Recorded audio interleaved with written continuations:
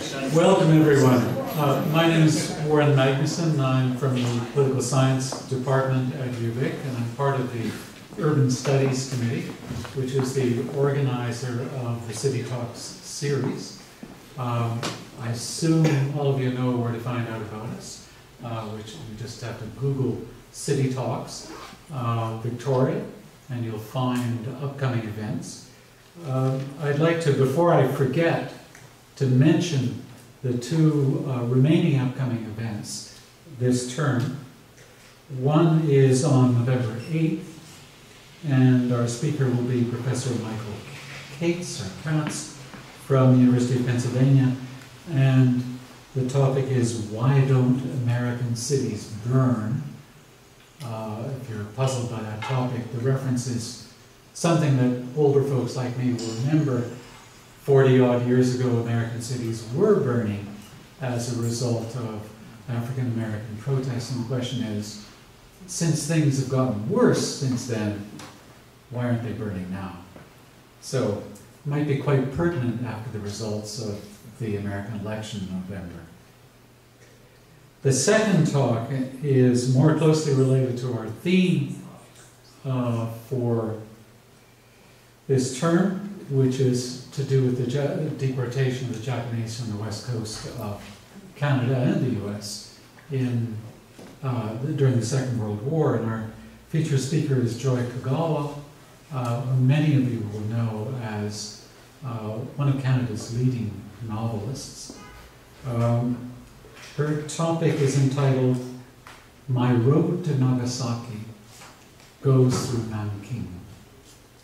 If you want to come to that lecture, since we're expecting a very large crowd, um, you have to register beforehand. It's still free, um, but in order to control the numbers, uh, we'd like you to email. So if, if, you just go to the City Talks website, you'll get the information there about what to do.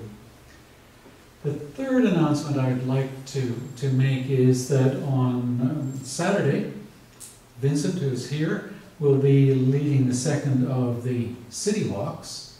And the city walks are connected to the city talks. We have uh, the text, as it were, the talk on the Thursday and on the Saturday.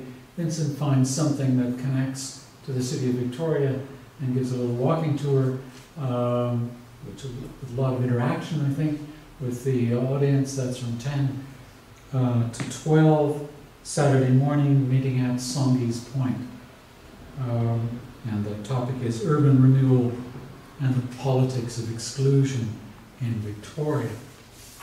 Now, back to tonight's event. It's a really special event for all of us who are connected to the Urban Studies Com Committee because our leader is giving a talk. Um, the City Talks are now in their third year. They're the result of some informal discussions that began at UVic between professors in various departments and are really our co-leaders were Jordan Stanger Ross and Reuben Rose Redwood, who's also here. And uh, Jordan, I think, particularly took the lead in devising this whole series at the Legacy Gallery, which belongs to the University of Victoria. The idea is that we wanted to bring the university downtown connect with the city, and have a series of talks on all different subjects that you can imagine connected to the city. We hope these will go on and on and on. We have some funding which lasts for a while. We hope we get a bit more from the Social Sciences and Humanities Research Council of Canada. Various departments at the University of Victoria have also uh, donated some funding. I guess I would make a little appeal to all of you uh, if you're interested in this talk, first of all, keep up with it, come to the other talks, talk it up amongst your friends, encourage people to, to come, and uh, if you can, encourage anybody who has money uh, to give money uh, to the sponsorship of these talks. As I say, Jordan is our speaker tonight. He's an assistant professor in the Department of History. Uh, is a very young fellow by my standards, uh, but already has a very distinguished academic career. um, noted particularly for um, a fairly recent book. It's called Staying Italian Urban Change and Ethnic Life in Post War Toronto and Philadelphia. Uh, Jordan is particularly interested in questions of race and ethnicity and uh, urban space and so on. And in early 20th century Canada and the United States, he does comparative work. Um, he says his most, uh, the accomplishment of which he is proudest is a recent article called Placing the Poor, the Ecology of Poverty in Post-War Urban Canada. I thought he was proud of it because of the content of it. He said he was particularly proud because he wrote it with his mother. I don't know what that's supposed to mean. um, his current uh, project is called Suspect Properties, Race, Real Estate, and Citizenship in Mid-20th Century Canada. And the talk tonight is connected to that. Its subtitle is The Origins of the Decision to Liquidate Japanese-Canadian Real Estate in World War II. Please join me in welcoming Jordan Stanger-Ross.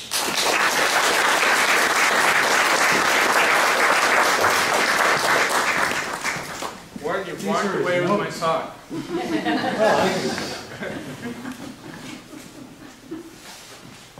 Thank you for that introduction. And thank you all. It's great to see friendly faces, familiar faces, and unfamiliar ones on a rainy night out here in, uh, in Victoria. Between 1942 and 1945, the Canadian government uprooted over 22,000 Japanese Canadian residents of the British Columbia coast and then liquidated their property, including some 1,700 parcels of real estate. The large majority of those affected by these policies were Canadian citizens, Canadian born and naturalized subjects of Canada and many saw little or no remuneration from those sales as the funds were held to pay for their sustenance during uh, their uh, period in the BC interior. The sale of Japanese real estate was carried out under the pressure of war, but it also marked the realization of long-standing goals on the part of some in British Columbia to free the province from so-called Oriental control operating from an ideological perspective that misconstrued the world as comprised of inalterably distinct and competing racial groups. Some observers celebrated the property sales uh, as a victory for so-called white British Columbia. Many imagined that with the properties in the hands of supposedly more rightful inheritors of the province, Japanese Canadians would never return. The liquidation, of course, as many of you will know, is part of a larger story of internment uh, of some, of the deportation uh, of many, and of the uprooting itself. It offers evidence of the extent of racism in wartime Canada. It was a tragic injustice to Japanese Canadians, and an important catalyst of post-war reconsiderations of Canadian approaches to religious and racial diversity. And yet, the liquidation has never been adequately explained. The sale of Japanese Canadian property was not the result of wartime anxiety. It was not the result of concerns about a Japanese fifth column in Canada. It was not the result of efforts to protect Japanese Canadians from, uh, from others who might uh, act against them.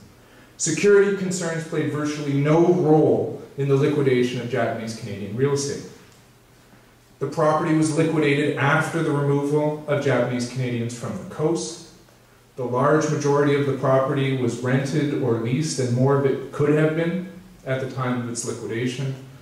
Quite obviously, the property posed no threat either to Japanese Canadians uprooted or to other Canadians still here. The sale of Japanese Canadian property then within this larger story had its own distinctive origin. It was motivated by its own distinctive ideas, and those ideas have been virtually omitted from consideration of this period. Indeed, the first person to suggest the liquidation of Japanese Canadian property in Vancouver, and I'll argue that the arguments in Vancouver were foundational for the larger liquidation. The first person to recommend the liquidation of Japanese Canadian property in Vancouver has never before been connected in any fashion with this history. The liquidation has never before been thought of as primarily an urban history, but I'll argue tonight that it was. Ideas about the city played a vital, motivating role in the liquidation policy. Recognition of this part of the story helps to explain the liquidation policy itself, but it also sheds light on the wider operation of racism in state policy during this period. The horrifying career of scientific racism in the 20th century is one of the most important stories of that century. The wartime era has many lessons to impart. Elsewhere, racism reached horrifying heights or depths during the Second World War. And here in Canada, it motivated policies that have been a source of anger and shame since. Within this larger history, the decision to liquidate Japanese Canadian property is its own distinctive chapter with its own distinctive lessons to impart. I'll argue that. It was a policy that drew upon a complicated and synthetic logic. That it was a policy that did not lean explicitly upon race hatred. That it was a policy that could dispossess Japanese Canadians even as it acknowledged their Canadian citizenship. And it's critical, I think, that we come to grips with this kind of state racism. Angry, explicit race hatred faded from public acceptability in the post war period. But arguably, at least, the kind of racism represented in the liquidation policy cast a longer post war shadow. A full understanding of how the policy worked, then, is critical to our assessments of race and racism in mid century Canada. Japanese Canadians lost their homes and businesses because conceptions of racial difference were drawn together with ideas about urban life and property. This synthesis of ideas about people and ideas about the city enabled a recharacterization of Japanese Canadian real estate as a perishable good. And this is the crux of my argument. A recharacterization of Japanese Canadian real estate as a perishable good. And it was this ill-founded recharacterization that motivated the liquidation policy that propelled it forward. Racism worked to dispossess Japanese Canadians because of its intersection with ideas about how people lived in cities, how they socialized in neighborhoods, and how they used property. The historic center of Japanese Canadian settlement and Japanese immigrant settlement that we heard about in the last lecture last month the area in the east end uh, of Vancouver, that Powell Street neighborhood, known at the time uh, among many as Japantown, Nihonmachi to its residents, played a surprising role in this process. And I'll detail that role uh, in this talk. To grasp this history, we have to begin by understanding that the liquidation represented policy change. The removal of Japanese Canadian residents from the coast of British Columbia was not assumed from the outset to include the liquidation of their assets. In February of 1942, Order in Council 1486 authorized the mass removal of people of the Japanese race in the language of that Order in Council, uh, um, which is issued by cabinet, by Canadian cabinet. Right? Um, authorized the mass removal of people of the Japanese race in the language of that order in council from the coast of British Columbia. But it said virtually nothing about the handling of their property. Two orders in council followed in March that offered some indication of the government's direction on, in this policy area. And uh, those orders in council were vague. They indicated that the uh, property would be dealt with in such a way as the government saw fit, uh, a provision that was of much concern to Japanese Canadian property owners, many of whom uh, resisted registering their property with the Canadian government on that basis. But to the extent that it said something more concrete than that, the policy indicated that the custodianship of Japanese Canadian property would be administered in the interests of those owners, in the interests of Japanese Canadian owners, that the property would be protected and preserved, that it would be held in trusteeship.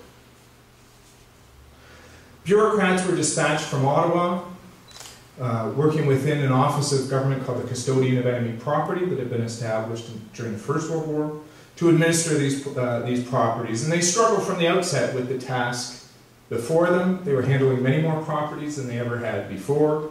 They had this new mandate to protect and preserve the property of Canadian citizens. And so they struggled with that task and they sought from a very early juncture in the war to change the policy toward a policy of liquidation. But until policy actually changed some 11 months later with a new order in council authorizing the liquidation, until policy actually changed, they read their directives carefully. They took it as their mandate to protect and preserve Japanese Canadian property, and they administered it um, without, without liquidation. On January 11th, 1943, almost a year after that initial order to uproot the Japanese Canadian population. Cabinet ministers sat for a meeting that would end with a draft of the liquidation order. The first thing that they discussed that day were urban properties, the properties in the city of Vancouver.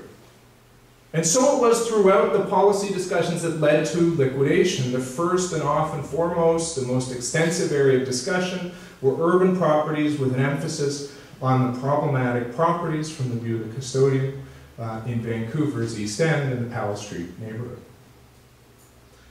The shift from protecting and preserving, though, to a policy of liquidation was gradual, and understanding this shift is essential to understanding the liquidation policy itself. We can begin to get a sense of this shift in a meeting that occurred in December 1942. So it's been some time since the uprooting. This is just a month before that order that would liquidate the properties.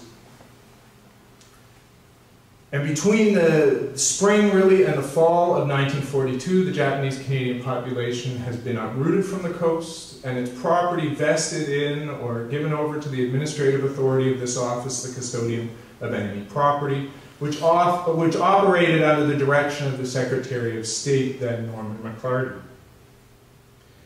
In December 1942, when officials of the custodian came to that meeting, they were still operating with this mandate to protect and preserve Japanese Canadian real estate. And so in this context, they met with representatives of a special committee of the municipal government of Vancouver to discuss the question of Japanese properties. That special committee from the city was comprised of an Alderman Buscombe, who was a city councilor, and a representative on the town planning commission of the city, and uh, by that time was sort of the leading figure in anti-Japanese rhetoric coming out of the city uh, by that time. And he was joined in that meeting by officials within various municipal departments, including building and health. Buscombe began the meeting by addressing himself to a G.W. McPherson, who was a bureaucrat from Ottawa who had been sent to Vancouver administered the custodian's office in Vancouver until the liquidation policy became official. So he addresses himself to McPherson, and he starts talking about the Powell Street neighborhood.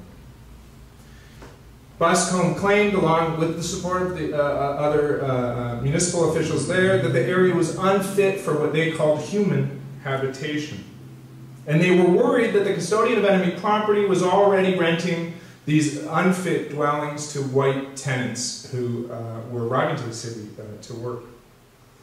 And so the city councilor, Buscombe, and with the support of these municipal departments, suggested liquidation. They pointed to the fact that the federal government had already liquidated almost 1,500 fishing vessels from the coast, Japanese Canadian owned fishing vessels. And he said, well, why not follow that precedent? Liquidate the fishing vessels, now let's liquidate the real estate. In McPherson, in McPherson, in response, McPherson laid out two principles that until that date at least, and for a short time thereafter, protected Japanese Canadian real estate on the coast.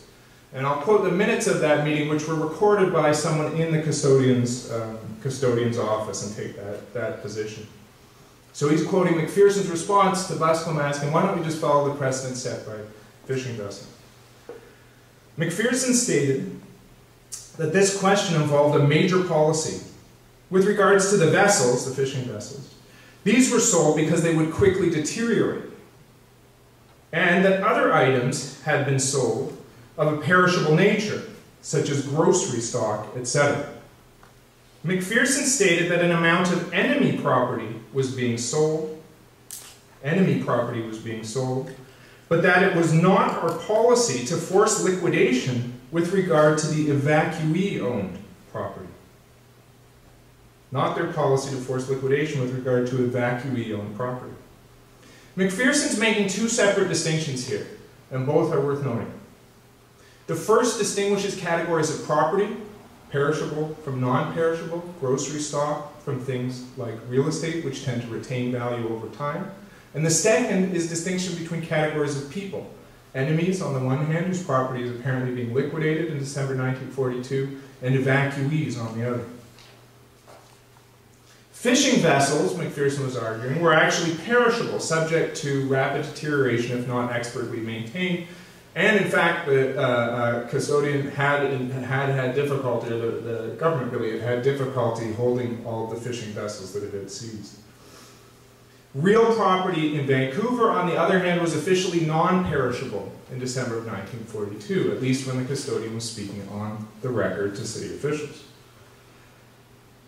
It tended not to lose its value over time. It retained value, even accrued value over time. Right? this distinction, as I've already suggested, crumbled in the month that followed, and even as McPherson made the distinction about property in his meeting, he was already actively seeking to undermine it in memos that he was sending to his superiors within the office of the custodian. But at least in his meeting with city officials, in his official, uh, in his official statements of policy, and in his administration of the property to that date, um, this distinction had been maintained. Real estate would ultimately be liquidated because it was recharacterized as perishable. That it came to be seen, or at least to be rationalized, as being like grocery stock, fishing vessels, and so on. And I'll return to that recharacterization. But before that, I want to consider the second distinction in McPherson's response to Buscombe. And I'll just return to those minutes to remind you of them. McPherson stated that an amount of enemy property was being sold, but it was not our policy to force liquidation with regard to evacuee-owned property. This is a distinction between categories of people. From the start of the uprooting, the custodian of enemy property had been clear about a distinction between enemies and evacuees, even though newspapers and municipal politicians and even federal politicians tended to confuse the distinction in their public statements. But for the custodian of enemy property, the entity that really moved forward the liquidation policy ultimately, enemies was a narrowly defined category, including only individuals actually residing in Japan or in Japanese-owned, uh, Japanese-occupied territory, as well as those who had been detained under the Defense of Canada regulations, the internees. In January 1944, to give you a sense of the numbers, in January 1944, the custodian's office in Vancouver reported having files on 1,400 individuals, 1,418 individuals actually, who held property that was considered property of enemy uh, aliens. By contrast, so that's 1,418. By contrast, the office had, one, had 15,500 files pertaining to the property of evacuees. So the vast majority of the property fell into this other category, evacuees, that in December, McPherson is suggesting can't yet be liquidated. These were property owners forced away from the coast merely because they were of the Japanese race in the language of that order in council. The majority were, the vast majority, large majority were Canadian-born and naturalized subjects. And insofar as the custodian was concerned in the first 11 months of their, uh, uh, after the uprooting. they couldn't be confused with enemy aliens and their property couldn't be immediately liquidated. The Vancouver office, in accordance with these distinctions, the Vancouver office was set up with two different administrative sections with largely distinct staff that operated in different fashions. The first section was for enemy property, it 1,400 properties. This section could liquidate the properties vested in them from the outset Expenses generated in the operations of the office, the custodian staff themselves, could be charged against any revenue from the property, rent revenue, or uh, ultimately their liquidation. And the proceeds were not credited to accounts of individual enemies, but rather held in an account by the government pursuant to treaty negotiations after the war. Just imagine that the Japanese government would also have liquidated assets of enemy belligerents, and that these accounts would be brought to bear in diplomatic negotiations after the war. Very distinctive treatment from that of the property of the evacuees. That was dealt with by this second administrative section of the office. Expenses generated by that office by their staff couldn't be charged against the properties. They did charge management fees. There were real estate companies that managed the properties before they were sold, collecting rents, making sure fire insurance was in place, uh, and, and, so on, and then ultimately representing the properties on the market. Those were charged against the properties, but the, but the administrative costs of the office itself were by law meant to be uh, um, funded out by the federal budget. Any profit from the properties was accredited to individual accounts. Initially rent revenue, and then subsequently the liquidation was accredited to these individual accounts of individual property owners with the funds to be um, um, given to them. Uh, those who were self-sustaining, despite the uprooting, got the funds uh, quicker. Those who were in settlement camps, uh, the funds were used, as I've suggested already, to defray the costs of those um, camps. Uh, so certainly there were problematic handling of that of those funds, but a very different handling from the way in which the uh, custodian dealt with enemy property. And crucially for my claims here, at the outset of the war, the evacuee property couldn't be liquidated. These distinctions were never, in fact, abandoned by the custodian of enemy property. For them, evacuees were always separate from enemy aliens. Japanese Canadians were never reduced to simply Japanese. Indeed, even after the liquidation policy was confirmed, and even as they moved to liquidate the property of evacuees, the custodian continued to stress this distinction between evacuees and enemies, even in the liquidation process. So, in an arrangement that, um, that reflected the peculiar dynamics of the Japanese evacuee case, where they were liquidating the property of Canadian citizens. The custodian did this liquidation at an arm's length. They established advisory committees, each of which had a Japanese Canadian representative on it. And those advisory committees were to oversee each individual sale of a Japanese owned parcel of real estate. They were also asked at the outset, after the liquidation policy had been permitted by, um, by order in council, in 1943, these advisory committees were asked to indicate whether they thought the liquidation was in fact an advisable um, policy. They had the opportunity to suggest it wasn't. And when McPherson introduced the advisory committee to its tasks, including stressing this fundamental task in writing to them that they should evaluate the liquidation policy itself, when he introduced them to their tasks, he focused in writing on the distinction between enemies and aliens, uh, enemies rather, and evacuees. In writing, the chairman of that committee, uh, Justice uh, Smith of the uh, provincial court, he, uh, he, he, he wrote, the question of whether a person is or is not an enemy does not depend on his nationality, but primarily the question of whether or not he is under the control of the enemy, such as residing in enemy territory. In case this divorce between nationality and the legal status of these property owners could still be misunderstood, McPherson provided concrete examples for his reader. It is therefore, he wrote, it is therefore not correct to say that Japanese Canadian subjects residing in Canada who have been evacuated from the protected areas but who have not been interned are enemies. It's kind of a complicated sentence. I'll return over it again. It is not correct to say that Japanese Canadian subjects residing in Canada who have been evacuated from the protected areas, but who have not been interned are enemies. So the vast majority of the Japanese Canadians displaced from the coast are not enemies, he's informing Smith. The vast majority of the property in the custodian's care and all of it that had been um, uh, given over to these advisory committees fell into um, uh, the category of non-enemies, right? A contrasting hypothetical drove this point home. It is correct to say, McPherson wrote, it is correct to say that a British subject residing in enemy territory is an enemy. A British subject residing in enemy territory is an enemy. For the custodian, even as they moved toward liquidation, for the custodian, race could not formally govern the handling of property. Japanese Canadian holdings could not be liquidated simply because of the origins of their owners. This is not to say that McPherson or others in the custodian office were progressive on racial uh, ideas. There's, in fact, ample um, record to suggest that McPherson himself was actually sort of outlying in his racist um, uh, dispositions, his antipathy towards the Japanese. And so was Buscombe. So the, both of the parties at that, key parties at that meeting in 1942. But when it came to the liquidation, the custodian did not, the officers within the custodian, key staff figures like McPherson, did not justify the policy on the basis of their antipathy for Japanese Canadians.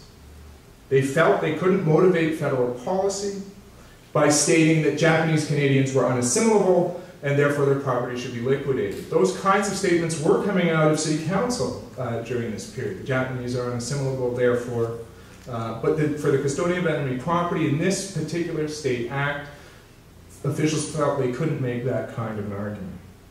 Instead, liquidation was set in motion by an alternative rationale. This rationale did draw upon notions of racial difference, but it did so in combination with ideas about urban space. And this combination became powerful. It motivated the liquidation of Japanese Canadian property in ways that their race alone was not deemed to do. To understand that process, we have to return to that uh, first categorical distinction of McPherson's between perishable and non-perishable property and understand how it is that that distinction crumbled. Ultimately, the property of evacuees was liquidated because their real estate was recharacterized as perishable. And here I'm going to drag you through some further archival details, but you need to be, um, you need to be taken that way to understand the policy. We need to take a step backwards from that meeting in 1942, in December of 1942, between McPherson and Buscombe. Before anyone in the custodian's office, at least on the record, started talking about liquidation, a very different group of civil servants was advocating on the record for the liquidation of Japanese Canadian property. The first people to discuss the liquidation of Japanese Canadian property in Vancouver were the members of the Town Planning Commission in that city. The Vancouver City Council had created the Town Planning Commission in 1926, responsible for land use planning and um, enforcement, uh, zoning, and the like. And in the summer of 1942, while the uprooting was still ongoing and incomplete, the Town Planning Commission started advocating liquidation. At the heart of this discussion was a man named Frank E. Buck past chair of the Town Planning Commission, although not at that time, and a UBC professor specializing in ornamental horticulture. Buck would eventually be heralded as the architect, the landscape architect of the UBC campus, the beautiful University of British Columbia campus. And he's remembered as a leading town planning figure in his day, but he's never before been associated with and should, in fact, be associated with the liquidation of Japanese Canadian property. In the early 1940s, Buck was immersed in international as well as local conversations among planners about the role of national governments in urban development. In 1940, he had returned from a conference in San Francisco advocating the idea that the city should press the federal government to condemn certain areas central to the city, paving way for major redevelopment projects. Critical here was the imagined involvement of the federal government, which had been involved in various ways in the real estate market, but not in the kinds of direct ways that Buck was fired up about in 1940. People like Buck knew that more intervention from the federal government would be necessary for the fulfillment of their aspirations for the city. And in the summer of 1942, the Planning Commission recalled his excited return in 1940 from San Francisco and resumed discussion of that topic, that perhaps the federal government could become involved in condemning and clearing large sections uh, in the inner city of Vancouver. For them, the uprooting of the Japanese Canadian population and the vestiture of their property in the federal government presented an important and unprecedented opportunity. Here was the federal government suddenly vested with real estate in an area ripe in the views of the Town Planning Commission for redevelopment. The Powell Street area caught the attention of planners because of its proximity to downtown, and because they already saw it as a slum, a notion that was freighted with racial baggage. They envisioned the area as a perfect area for the development of either modern industry, which was still a development goal of the city at that time, or of workers' housing near the center of the city, approved workers' housing. They were the first to start talking about the substandard nature of the properties of Japanese Canadians who had been uprooted, and the first to start talking about the risks of renting these properties to white tenants in the city. They start passing resolutions, both at the Town Planning Commission level and in their subcommittees, calling upon the city to advocate the clearance of the Powell Street area. And Frank Buck is the first to assemble a team that is capable of pressuring the federal government. And that team is the special committee that met with them in December of 1942. Buck proposed that the City Council create a special committee to meet with federal officials and Buck stipulated that the committee should include a member of City Council. George Buscombe, who was on the Town Planning Commission, seemed a, a good candidate, as well as a lawyer, some corporate counsel, the building inspector, the medical health officer, and the city electrician. The composition of the committee proved to be critical. They had tools at their disposal that could be brought to bear on the federal government to impose pressure. By the early fall of 1942, Officials in the custodian's office in Vancouver were reporting pressure from several departments of city government relative to the condition of the properties that the federal government now controlled. The electrical department has, had threatened court action over the rental of uh, units that were substandard on electrical basis. Anyone who's dealt with city government around these kinds of issues may be familiar with this kind of an approach. The chief sanitary inspector notified the custodian of buildings badly infected with cockroaches. The health department commenced boarding up buildings that it deemed unsuitable for, quote, human habitation. And Mr. Reed of the municipal building department told federal officials, we do not wish to add to your problems and are willing to cooperate, but remember, coroner's juries are embarrassing. If somebody died on a property vested in the custodian and rented to a tenant, the city would have to testify against them. In their Vancouver office, officials of the custodian took such thinly veiled threats seriously, undertaking first to gain more comprehensive knowledge of the properties that had been vested in them. On December, on rather October 15th, 1942, the chief counsel to the custodian's office, K.W. Wright, joined other staffers on a tour of Japanese properties in uh, Vancouver, Japanese Canadian owned properties. The tour included stops at West Side properties on 4th and 5th Avenues, but it was Powell Street that brought forth the most powerful and telling remarks. In the Powell Street neighborhood, Wright saw evidence of a problem that would ultimately help to steer the government towards a liquidation policy. He wrote in a report afterwards. We have places on Powell Street and in other districts containing as high as 40 to 50 rooms without a bath of any description.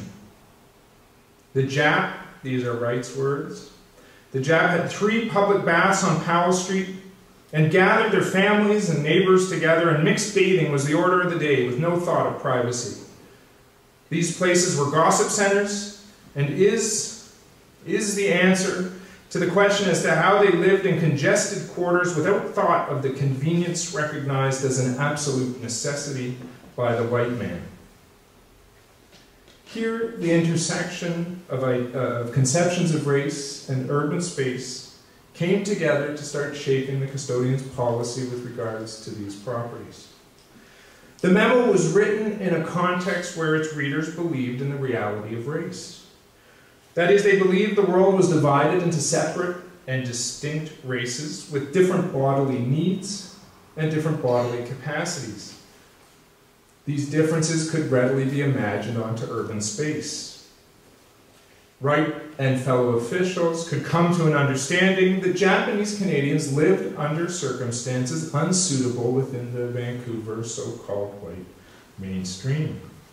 The particular capacities and diminished needs of Japanese individuals, it was imagined, found expression in city space and in these properties, making the neighborhood unsuitable for so called white habitation. But here a problem arose the federal government was suddenly a landlord in this pathologized neighborhood and flummoxed as to how to make it habitable for white tenants. As the Undersecretary of State to whom McPherson reported, E.H. Coleman would later summarize, so long as the properties were occupied by Japanese, who apparently had adapted themselves to these conditions, sanitary inspections appear to have been infrequent. However, the city intervened in Coleman's view quite rightly when confronted with the prospect of white habitation in the neighborhood. Concerns about the unsuitability of buildings and neighborhoods for human, read white, residents soon became a major policy issue and would ultimately lead to the liquidation of properties well beyond the Powell Street neighborhood. Others, including McPherson and the members of the advisory committee in Vancouver before they made their initial decision on policy, would also take tours of the Powell Street neighborhood, often guided by real estate agents very interested in representing those properties on the market. Officials came away with uniformly dismal views of the neighborhood. McPherson claimed that he had returned to the office a quote, sadder and wiser man. Whatever the sincerity of this remark, he did return to his office with a clear idea of how to justify the liquidation of Japanese Canadian property. McPherson was a committed racist and a troubled bureaucrat. The custodian's office, of which he was the head, was overwhelmed with the task before it. Managing the property was difficult and expensive. But once the property had been deemed substandard, the next step for McPherson seems to have been relatively easy. Drawing inspiration from the Town Planning Commission and the special committee that was created by Frank Buck, he began to recharacterize the real estate in the Powell Street area as perishable. He did so in a series of memos that ultimately reached the Secretary of State and members of Cabinet who penned the liquidation order. The argument was relatively straightforward. It hinged on the idea that slums, unlike other real estate, tended to depreciate in value over time. It tended to amass debt. It, it tended to crumble into the street. It tended to cause harm to tenants. Uh, it tended to be vandalized by other slum dwellers. Slum housing was like grocery stock. If this premise could be accepted, then it followed that the real estate had to be liquidated. If Japanese Canadian real estate depreciated in value over time, then the federal government, working in the interests of the Japanese Canadian owners themselves, had a fiduciary obligation to liquidate the property. Bureaucrats had to liquidate Japanese Canadian property while it still retained some value. As these arguments filtered up the chain of command from walking tours in the neighborhood to members of cabinet, the arguments relied explicitly on the Canadian citizenship of the Japanese owners. It was because they were Canadians in this argument that they were owed responsible custodial care. And in the case of perishable property, as the, as the fishing vessels had been deemed earlier and grocery stock, that custodial care meant rapid liquidation. These arguments flew in the face of reality. There was plenty of evidence that would, might pressed someone to think differently about this situation. First, only a tiny proportion of properties were ever deemed unsuitable by the municipal government. They may be boarded up, it's difficult to know for sure, but may be boarded up and condemned some two dozen uh, properties. Right? 1,700 properties were liquidated. The vast majority of the liquidated real estate was outside of the Powell Street neighborhood anyway. Only about 400 properties were in the Powell Street neighborhood. And the memo trail is very interesting on this as, as the memos move up from McPherson through the office of the custodian, they keep on expanding in scope. You know, uh, the, the problem of the Powell Street um, properties suggests that perhaps they should be liquidated. Memo carries on to the desk of another uh, uh, officer, the custodian. The problems of the Powell Street area suggest that Vancouver real estate should be liquidated. The problems of the Powell Street area suggest that Vancouver and suburban real estate should be um, uh, liquidated. The problem of the Powell Street area suggests that the BC real estate should be liquidated. And even in the Powell Street area itself, as the records of the custodian show, the vast majority of properties, some 80%, were rented and revenue bearing. They weren't, in fact, tending to depreciate in value over time. Real estate companies were managing them at a, uh, at a profit, or at least uh, breaking even. However, the argument had power. It had plausibility. Officials could readily imagine that all Japanese Canadian property comprised a deteriorating slum because of how they understood race and how they understood the city. Beginning in walking tours in Vancouver's East End, these arguments found their way to the desk of the Secretary of, the, of State and then on to cabinet members. On January 11, 1943, when cabinet ministers sat to discuss the question of Japanese property, they began their discussion with the Powell Street neighborhood, and they ended their discussion with a draft of the liquidation order. I don't have time here to get into the question of rural properties, which have been more of a focus in existing discussions of this topic, but uh, in effect, rural properties uh, merited less discussion in these policy documents, and to the extent that they were discussed, the arguments there tended to converge with those around urban properties, Ultimately, rural properties also were deemed perishable in nature. And together, these ideas motivated policy. On January 11, 1943, then, Norman McLarty, the Secretary of State, Ian MacKenzie, the Minister of Pensions and Health, who's been often uh, central to the discussion of this topic, T.A. Crerar, Minister of Mines and Resources, and Humphrey Mitchell, the Minister of Labour, met to discuss the property question.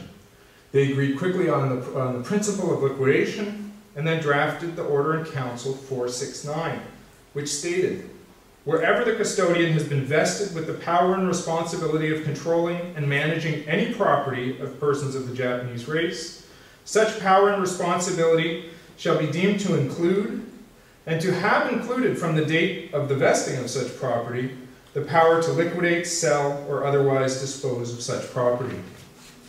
Hence, that early mandate to protect and preserve Japanese Canadian real estate was written out of history. Two months later, the liquidation began. Historians and observers of this period will learn most from these events by thinking of the liquidation policy as an illustration of the process by which ideologies interweave. The liquidation was policy change it represented a shift from the original mandate of the uh, custodian of enemy property during the Second World War, and it ran against the organization of that office. Such change required rationalization. To this end, bureaucrats devoted significant energy to analyses of the problems of urban neighborhood. They placed such claims at the forefront of their often private communications that preceded the liquidation order. The first body to recommend the liquidation of Japanese Canadian properties in Vancouver was the Town Planning Commission, for which the elimination of slums was of existential importance. Planners achieved unprecedented power in wartime Vancouver, although their plans for the area were ultimately thwarted. But they achieved this power because their ideas became enmeshed with the racism of the, of the uprooting. A local mandate to clear slums, interwove with the federal process already underway, stripping citizens of rights that should have been accorded them. Both influences, that local influence and federal, were necessary to the liquidation policy. McPherson, Buscombe, MacKenzie, and others involved in the liquidation were racist. And the liquidation is an example of Canadian racism. In this case, Racial ideology was made powerful in combination with other ideas. In the winter of 1942 and 1943, racism found expression in the form of a liquidation policy because it intersected with other deeply held conceptions of the world. It was racialized uses of the city, rather than racial traits alone, that provided the impetus and the rationale for the liquidation policy. In the minds of bureaucrats and politicians, the ills of Japanese Canadian neighborhoods and the requirements of white residents offer justification for the violation of rights that ought to have been accorded to property owners on the coast of British Columbia. Thank you.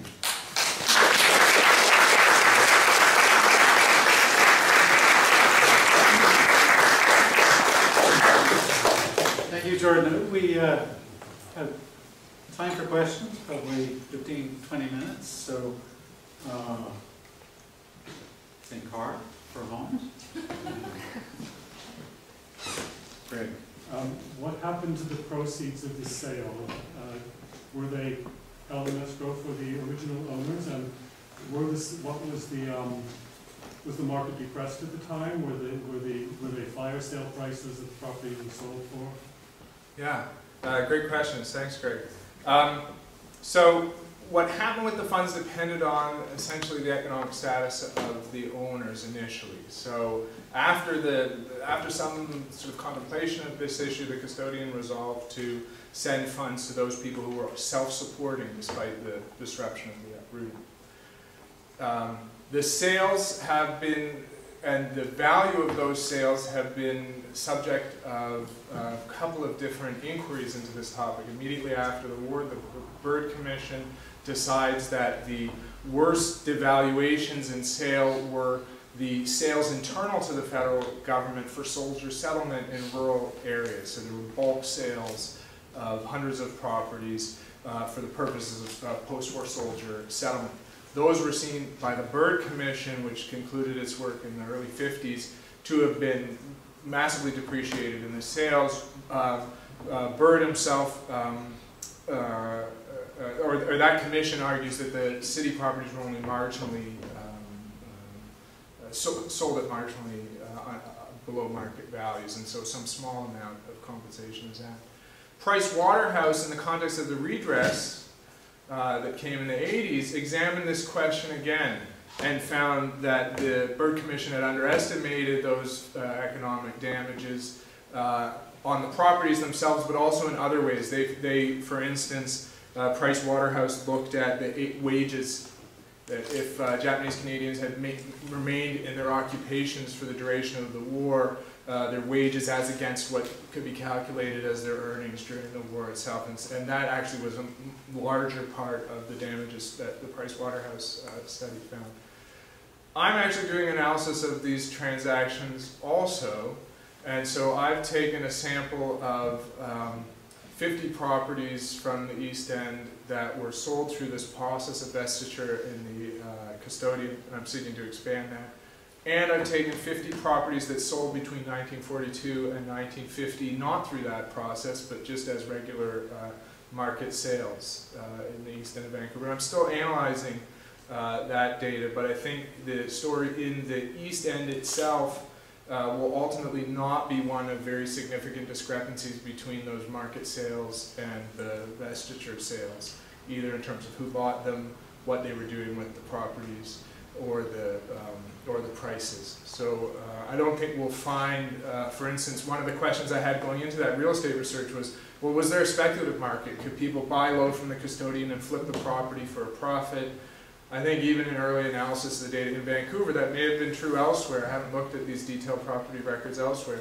But in Vancouver, that wasn't the case. People tended to buy and hold their properties for just as long as other buyers on the market and so on. So there wasn't this opportunity to jump in.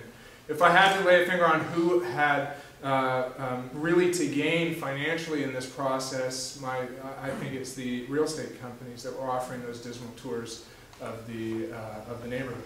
Uh, they were very actively seeking to be involved in, in, exclusively representing those properties on the market. And some major companies that still exist, Pemberton, uh, among others, were um, leading uh, companies in representing those properties on the market and managing before they were sold. So I think there was real gain for real estate agents here.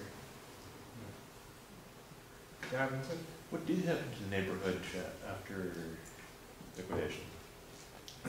well, that's another complicated question as well. One of the things that quite interests me, there's a peculiarity in the liquidation process where certain associational buildings, including the language school that was on Alexander, the uh, custodian writes to the board of that organization asking them to liquidate. Uh, and I'm not sure why they ask. Right? They're not asking anybody else. These are forced sales. I'm not sure why it is that they decide that they need to ask the language school whether they'll sell. And uh, the language school refused to sell. And they actually write back through their lawyers, they have lawyers in Vancouver, they write back and say, we won't sell for any price. There's no price for which we'll sell this school. And the former principal of that school returns to Vancouver in 1949 to resume work there uh, in the former uh, uh, Japanese neighborhood. So that story of um, certain people who had strong attachments to the neighborhood and wanted to preserve a Japanese uh, Canadian presence there is a really interesting one that I'm hoping to develop in the, in, in, in the future. The wider history of the neighborhood uh, is complex. And you know, I first came to this uh, project uh, with an interest in the sort of earlier history of the downtown east side. And I first started looking at this, um, at the liquidation in the context of, um, of, the, of, the long, of the concentration of poverty in the east end of the city. So one early question I had that I'm not still examining is, you know, did, could there be some causal role attributed here to the liquidation process? I think that that's um, you know, a complicated question that could probably be answered in various ways, but not one that I'm, not one that I'm right now seeking to, seeking to answer.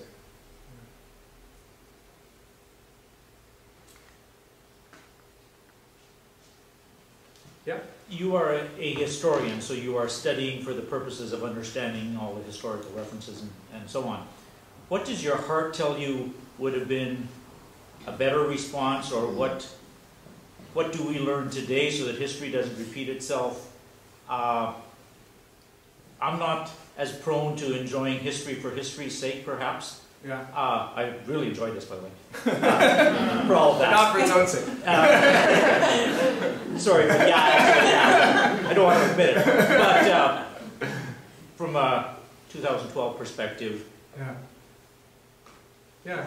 Uh, that's an important question to me. Uh, I, I, think of my, I'm, I tend to study, I studied Philadelphia and Toronto when I was connected with Philadelphia Toronto. I started to study the West Coast. Being out here, I'm concerned about places where I am and sort of have um, research questions motivated out of uh, that, uh, out of that environment that I'm living in. Um, so I have questions, in effect, about what happened to race in mid-century Canada.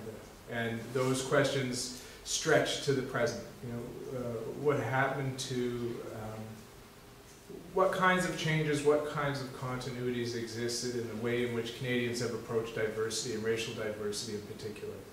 Uh, and this kind of language that um, carries out what is clearly a racialized and I would say racist mission, but that acknowledges, uh, but th that can that can dress itself, and not only dress itself, but I think um, in some regards the people writing this believed what they were writing, that these were important ideas for them, that it was important to discover that, that in fact the slum was deteriorating. And then those kinds of ideas about the East End, for example, in the Chinese neighborhood, which there were, uh, which was, you know, there were liquidation plans for it in the post-war. Uh, in, in the late 40s, Leonard Marsh, uh, uh, was at UBC also is writing a study um, advocating essentially the clearance of slums in the East End as well.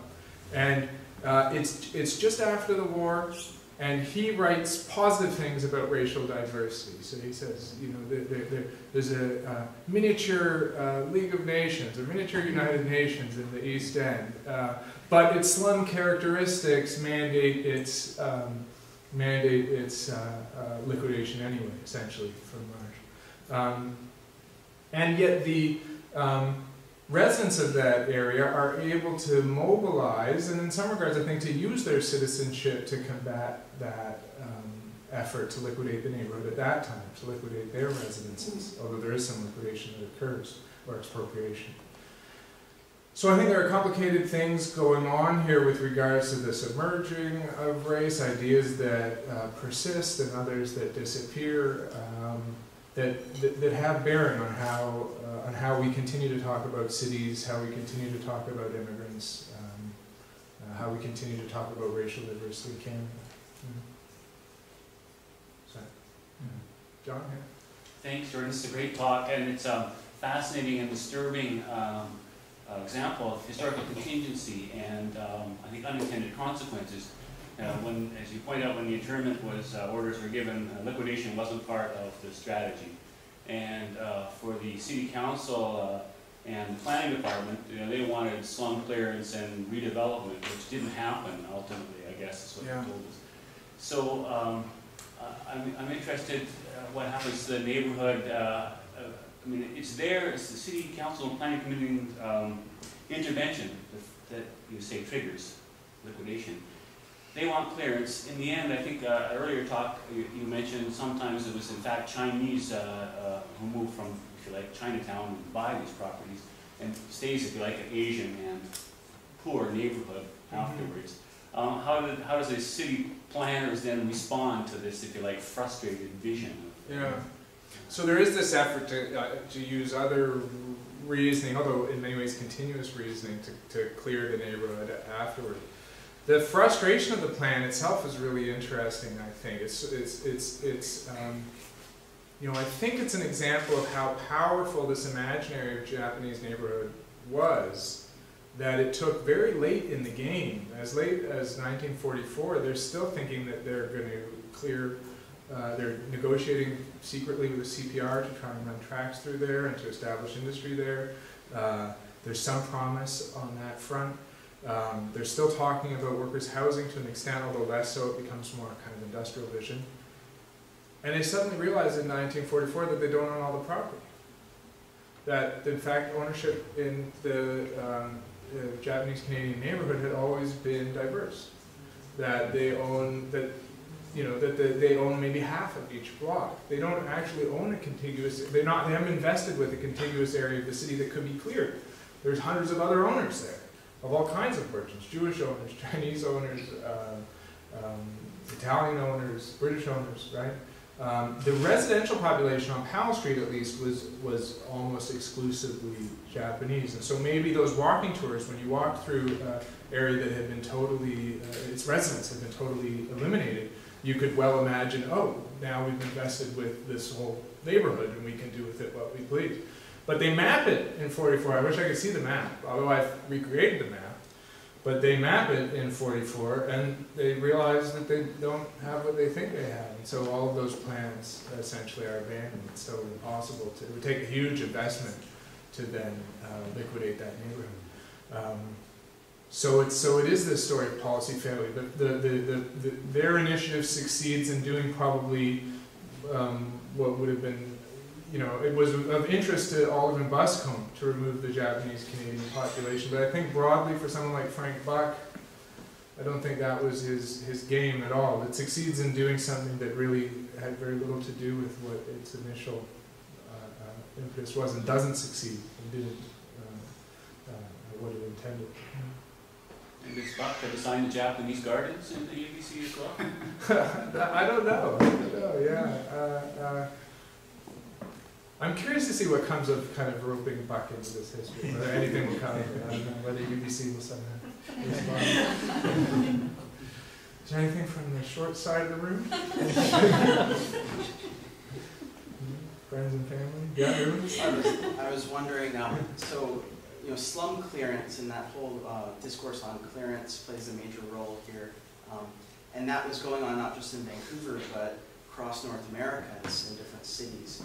Um, so this is a story, uh, maybe this is a bit extreme with the kind of internment camps, but, you know, residents, particularly racial minorities, being kind of stripped of their land and being sent to the projects and, and other kind of public housing and things. It's a common story in different cities, right? So it speaks to issues beyond Vancouver as well Yeah. during that period.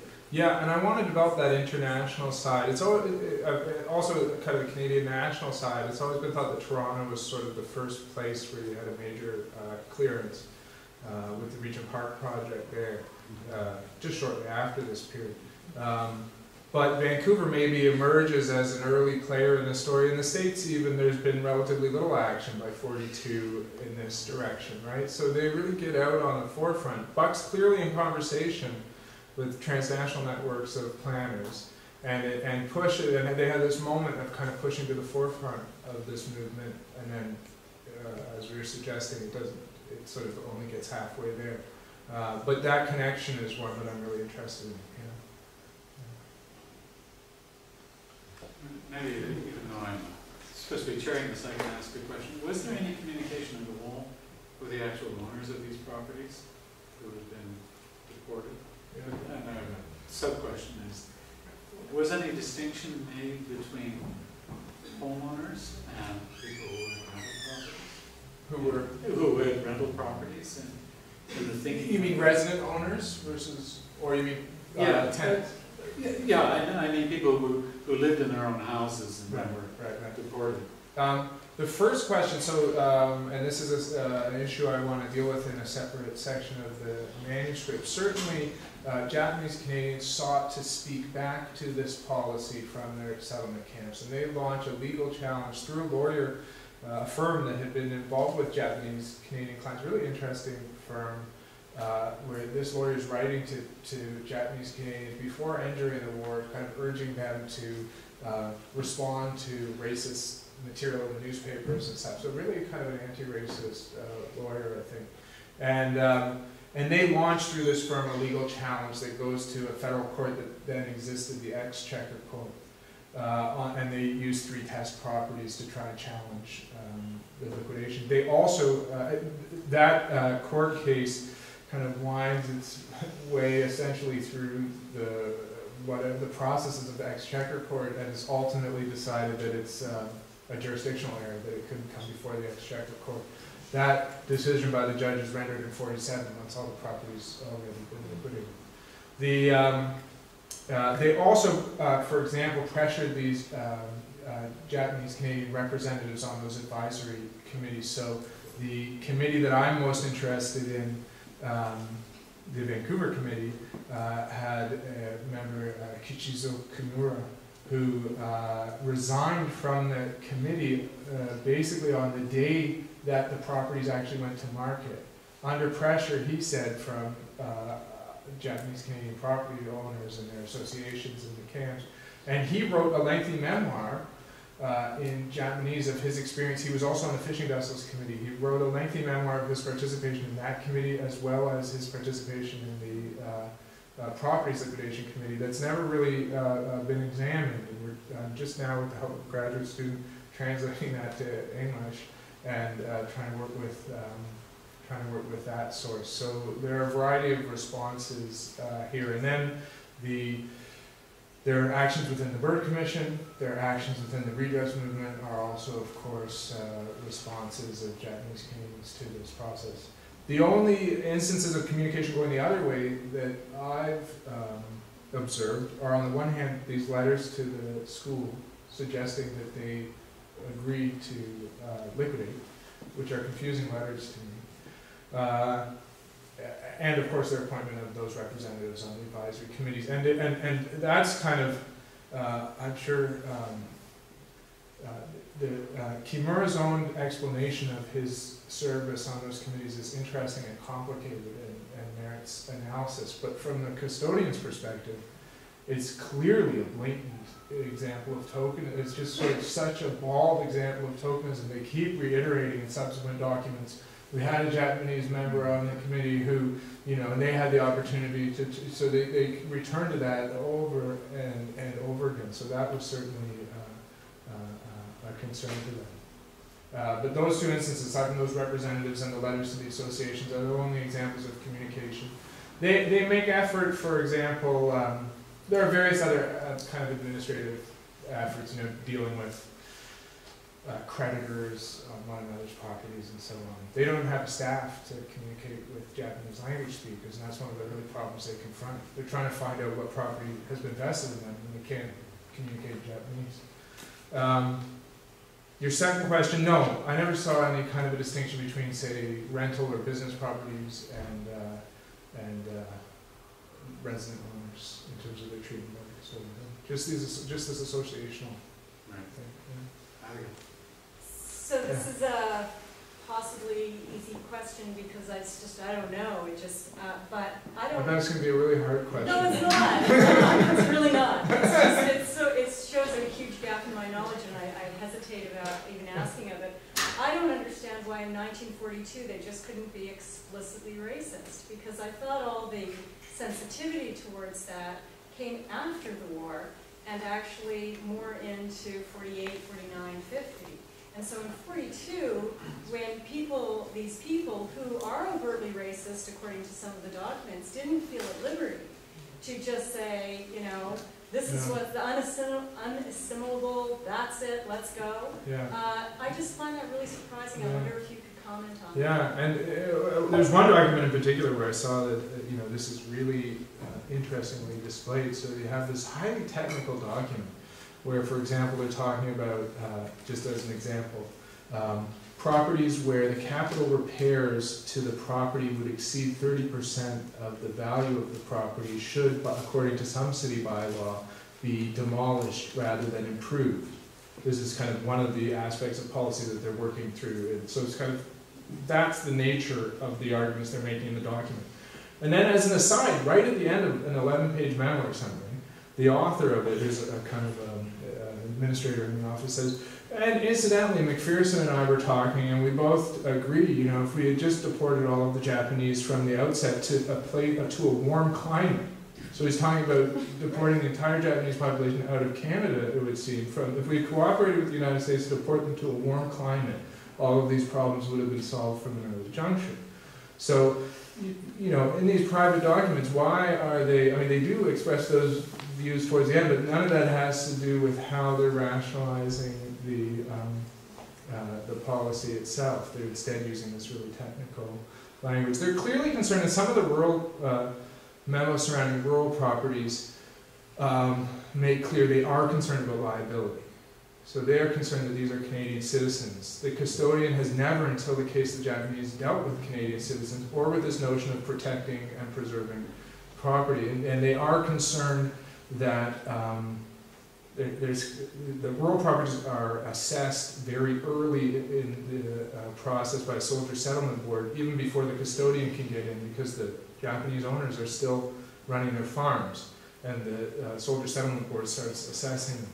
And the custodian uh, becomes concerned that these early assessments, while the farms were still operative, will generate claims that as Canadian citizens, the owners will be able to make against them after uh, after the sale, because they they say that the the new the tenant farmers aren't nearly as good as the Japanese uh, uh, Canadian farmers have been, and the farms are deteriorating, and so those assessments that were made while they were still operative farms by the owners, you know, they won't be able to fetch those prices after they've been kind of trashed by the tenants for a few years, right? So- And they, and they clearly state that in terms of liability.